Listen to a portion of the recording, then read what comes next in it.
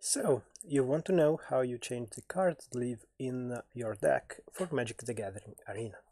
That is pretty easy, you just have to go here, click here, and here you will have all the different type of sleeves that you own. Some of them are going to be free and some other are going to be purchased.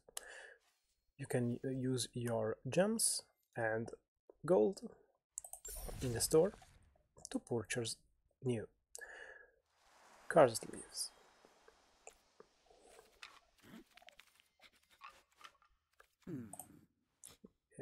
I think it's in cosmetics and here you can buy new card sleeves.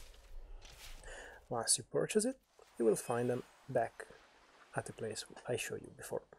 And that is easy, that is how you purchase and use uh, sleeves in your decks in Magic the Gathering Arena.